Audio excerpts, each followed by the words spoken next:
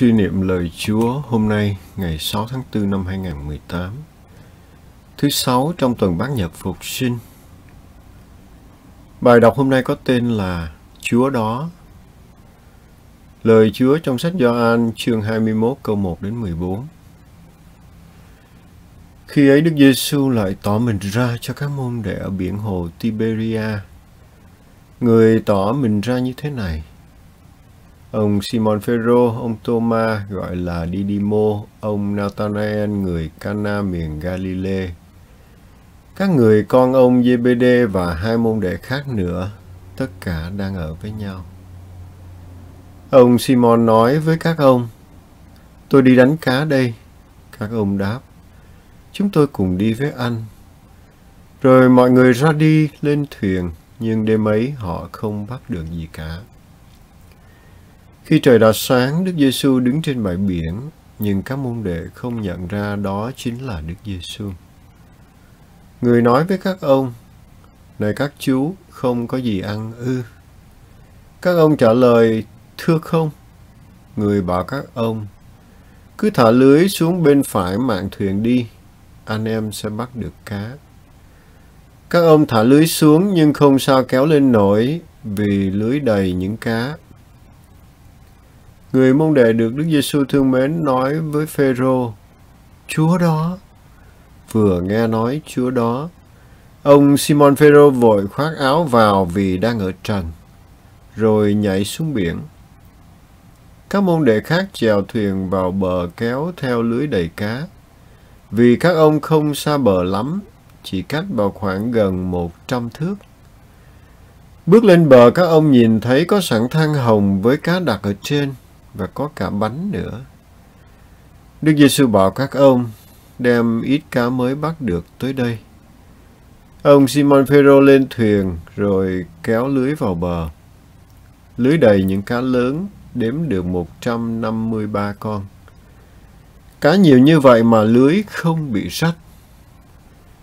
Đức Giêsu nói, anh em đến mà ăn. Không ai trong các môn đệ dám hỏi ông là ai vì các ông biết rằng đó là Chúa. Đức Giêsu đến cầm lấy bánh trao cho các ông, rồi cá. Người cũng làm như vậy. Đó là lần thứ ba Đức Giêsu tỏ mình ra cho các môn đệ sau khi trỗi dậy từ cõi chết. Lời suy niệm Bảy môn đệ trở về với nghề xưa, trở về biển hồ quen thuộc đầy ắp kỷ niệm thầy trò. Dù đã chối Chúa, Phêrô vẫn được coi là thủ lĩnh. Ông không ra lệnh nhưng đưa ra lời mời kín đáo. Tôi đi đánh cá đây. Các bạn khác hiểu ngay và mau mắn đáp lại. Chúng tôi cùng đi với anh. Có một bầu khí dễ chịu, đầm ấm trong nhóm. Đây quả thực là một nhóm bạn lý tưởng. Họ ở với nhau, làm việc với nhau cả đêm và lặng lẽ cùng nhau chia sẻ một thất bại. Tuy nhiên họ cũng là những người có tính tình khác nhau.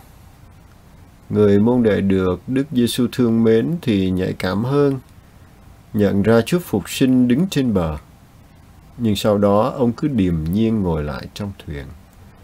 Còn Phêrô thì nồng nhiệt hơn, vội vã mặc áo, nhảy tùm xuống nước bơi vào, vì nóng lòng muốn gặp Chúa.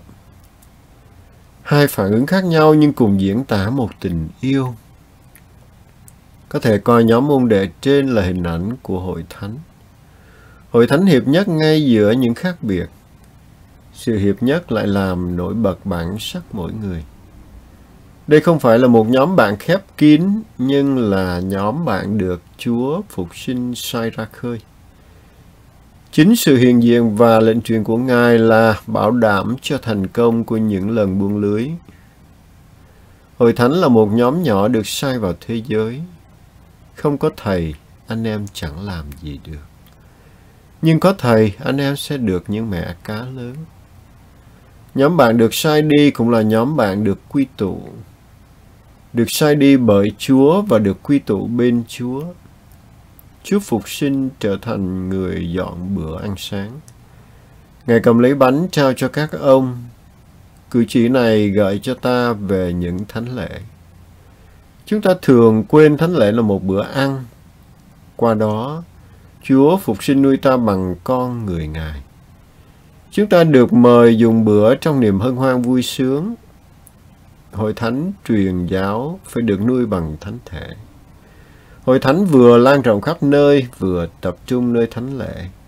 Đó là nhịp thở đều đặn và cần thiết cho hội thánh. Ngài cầm lấy bánh trao cho các ông và nói, anh em đến mà ăn. Chúa phục sinh vẫn đến với chúng ta giữa đời thường, giữa những vất vả lo âu, giữa những thất bại trống vắng. Chúa vẫn đứng trên bờ mà ta cứ tưởng người xa lạ. Ngài vẫn nhẹ nhàng chạm đến nỗi đau của ta. Các con không có gì ăn ư. Ngài vẫn mời ta bắt đầu lại dù mệt nhọc và thất vọng.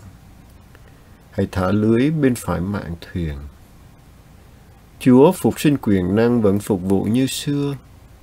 Bàn tay mang dấu đinh là bàn tay bây giờ nhan lửa và nướng cá. Bàn tay trao tấm bánh đời mình trong bữa tiệc ly, bây giờ cho tấm bánh mình mới nướng cho môn đệ. Hãy ném bầu khí huynh đệ của buổi sáng hôm ấy bên bờ hồ. Các môn đệ ngồi vòng tròn quanh thầy xưa. Họ hết mệt, hết đói vì có cá và bánh. Họ được hong ấm nhờ lửa than hồng và nhất là nhờ được gần thầy. Hôm nay tôi cũng được mời sống cho người khác như đấng phục sinh. Lời cầu nguyện Lạy Chúa Giêsu phục sinh, lúc chúng con tìm kiếm Ngài trong nước mắt, xin hãy gọi tên chúng con như Chúa đã gọi tên chị Maria đứng khóc lóc bên mộ. Lúc chúng con chán nản và bỏ cuộc, xin hãy đi với chúng con trên dặm đường dài như Chúa đã đi với hai môn đệ em mau. Lúc chúng con đóng cửa vì sợ hãi, xin hãy đến và đứng giữa chúng con như Chúa đã đến đem bình an cho các môn đệ. Lúc chúng con cố chấp và xa cách anh em, xin hãy kiên nhẫn và khoan dung với chúng con như Chúa đã không bỏ rơi ông Tô-ma cứng cỏi. Lúc chúng con vất vả suốt đêm và không được gì, xin hãy dọn bữa sáng cho chúng con ăn, như Chúa đã nướng bánh và cá cho bảy môn đệ. Lạy Chúa Giêsu phục sinh, xin tỏ mình ra cho chúng con thấy Ngài mỗi ngày. Để chúng con tin là Ngài đang sống, đang đến và đang ở thật gần bên chúng con. Amen.